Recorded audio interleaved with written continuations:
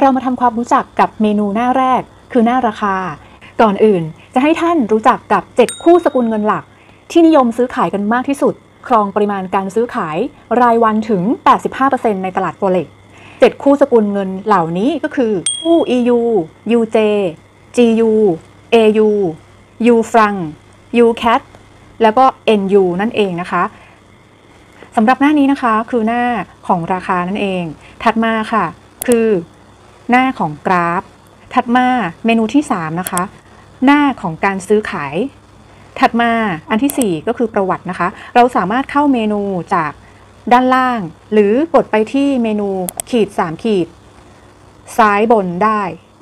วันนี้นะคะนักเทรดทุกท่านเราต้องฝึกอ่านด้วยนะคะว่าคู่เงินสกุลสินทรัพย์ที่เราจะเข้าเทรดเนี่ย อ่านอย่างไรได้บ้างนะคะ เพราะว่าเดี๋ยวเวลาที่เราเรียนกับอาจารย์เนี่ยอาจารย์อาจจะวิเคราะห์คู่ EU UJ นะคะเราจะได้เข้าใจแล้วก็ทราบว่าคือคู่อะไรนั่นเองนะคะ เวลาเราอ่านเราจะอ่านตัวอักษรตัวแรกกับตัวที่ 4 อย่างเช่น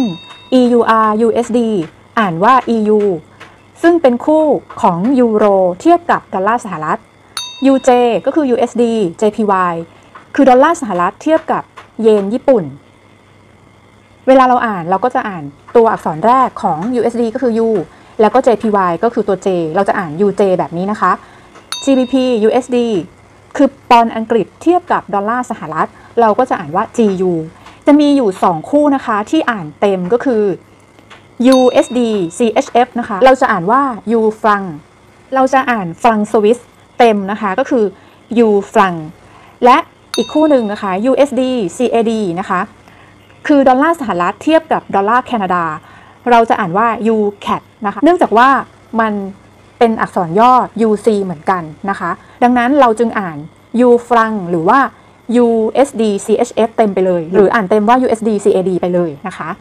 วิธีอ่านการแจ้งราคาของ forex นะคะ ราคาของ forex เนี่ยจะแจ้งมาในรูปของคู่สกุลเงิน และดวนส่วนใหญ่เนี่ยมักจะมี 4 ทศนิยม ตัวอย่างเช่น GBP USD เท่ากับ 1.21228 สกุลเงินที่อยู่ด้านซ้ายเรียกว่าสกุลเงินหลักหรือว่า base currency ในขณะที่สกุลเงินที่อยู่ด้านขวา เราจะเรียกว่าสกุลเงินอ้างอิง หรือว่า code currency สกุลเงินหลักเนี่ยจะมีค่าเท่ากับ 1 เสมอ จากตัวอย่างนะคะ GU เท่ากับ 1.21228 GBP คลอนอังกฤษ คือสกุลเงินหลัก ในขณะที่ดอลลาร์สหรัฐ คือสกุลเงินอ้างอิง เราอ่านการแจ้งราคาของ Forex ได้แบบนี้ 1 GBP หรือว่า 1ปอนด์อังกฤษมีค่าเท่ากับ 1.21228 ดอลลาร์สหรัฐ ณ เวลานั้นนั่นเอง การแจ้งราคาของ Forex ได้บอกเราถึง 2 ประการ ประการแรกค่ะ หากนักเทรดต้องการที่จะซื้อ 1 หน่วยของสกุลเงินหลัก ยกตัวอย่างเช่นคู่ EU นะคะ EUR USD เขาจะต้องจ่าย 0.9946 ดอลลาร์สหรัฐ เพื่อที่จะซื้อ 1 ยูโร หากนักเทรดต้องการที่จะขาย 1 หน่วยของสกุลเงินหลัก เขาจะได้รับ 0.99437 ดอลลาร์สหรัฐ จากการขาย 1 ยูโร ประการที่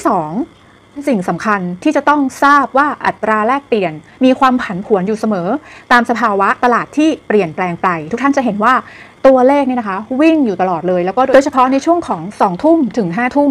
ตลาดอเมริกาเปิดก็จะมีความผันผวนสูง เงินยูโรสามารถอ่อนค่าหรือแข็งค่าเมื่อไหร่ก็ได้ เมื่อเทียบกับดอลลาร์สหรัฐผู้สกุลเงิน EU นี่นะคะ เคยทำราคาสูงสุดถึง 1.6 เมื่อเมษายนปี 2008 แต่วันนี้นะคะ ลงมาเหลือ 0.99 แล้วเคยทำจุดต่ำสุดที่ 0.96 นั่นแสดงถึงว่าเงินยูโรอ่อนค่าลงเมื่อเทียบกับดอลลาร์สหรัฐค่ะ และหากราคา EUR USD ขยับขึ้น ก็แสดงว่าเงินยูโรเนี่ยแข็งค่าขึ้นเมื่อเทียบกับดอลลาร์สหรัฐนั่นเอง ต่อไปเรามาดูวิธีการเพิ่มสินทรัพย์กันนะคะ ให้เรามาที่หน้าแรกคือหน้าราคานะคะ เราจะเห็นปุ่มบวก สัญลักษณ์บวก ด้านขวามือบนนะคะ ให้กดปุ่มบวกหนึ่งครั้ง ขั้นตอนที่2นะคะให้พิมพ์ตรงช่องค้นหาค่ะ ให้พิมพ์คู่เงินที่เราต้องการนะคะ อาจจะเป็นคู่สกุลเงินหรือว่าทองคำซินเวอร์ก็คือเงินหรือว่าคริปโตเคอเรนซีก็ได้นะคะสำหรับใครที่ไม่รู้ชื่อย่อนะคะ สมมติว่าเราต้องการจะค้นหาทองคำนะคะ ก็พิมพ์คำว่า gold ได้เลย ซึ่งสัญลักษณ์ของ Gold นั่นก็คือ XAU USD นั่นเองค่ะ กด XAU USD XAU USD ก็จะหายไปและเราย้อนกลับไปนะคะ ย้อน back กลับไป เราจะเห็นคู่ทองคำค่ะ ปรากฏขึ้นมาด้านล่างสุดเลย กดบวกหนึ่งครั้ง ค้นหา เช่นเราจะเทรดคู่น้ำมันนะคะ เราก็เห็นอยู่แล้วว่ามีโฟลเดอร์เป็นออยนะคะ เราจะเลือกจากเมนูที่เขาให้ไว้ก็ได้นะคะ แบ็กกลับมาเราก็จะเห็น คู่น้ำมันเนี่ยปรากฏอยู่นะคะ เราสามารถเพิ่มสินทรัพย์ที่เราต้องการเทรดได้ เช่นคริปโต เราจะเพิ่มบิตคอยก็ได้พิมพ์เข้าไปคำว่าบิตคอยกดไปหนึ่งครั้งคู่ BTC USD ก็จะหายไป กดแบ็กกลับมา เราก็จะเห็นคู่บิตคอยมาปรากฏอยู่ด้านล่างนั่นเองค่ะ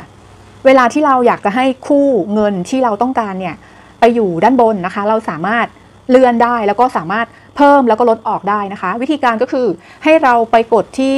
สัญลักษณ์ที่เป็นรูปดินสอด้านมุมขวาบน กดหนึ่งครั้งนะคะ เราสามารถเลื่อนทองคำดิฉันอยากจะเอาทองคำไปอยู่ด้านบนสุด เพราะว่าเทรดทองคำเป็นประจำเราก็สามารถเลื่อนเลื่อนได้นะคะเราอยากจะให้ทองคำอยู่ด้านบนสุด หรือว่าอยู่ตรงบรรทัดไหนก็ได้ค่ะ อยากจะให้คู่น้ำมันไปอยู่บรรทัดที่ 2 ก็ได้นะคะ อยากจะลบคู่ที่ไม่ค่อยได้เทรด เช่น NZD USD กับ UCAT นะคะ เราก็สามารถกดลบออกได้เลยอะเดี๋ยวจะกดเพิ่มคู่ Silver นะคะ ถ้าเราจำอักษรย่อไม่ได้ให้เราพิมพ์ไปเลยค่ะ Silver เราก็จะเห็นคู่ Silver นะคะ XAG USD กดเข้าไปปุ๊บ คู่เงินก็จะหายไป แบ็กกลับมาก็จะเห็นว่า XAG USD เนี่ย มาอยู่บรรทัดสุดท้าย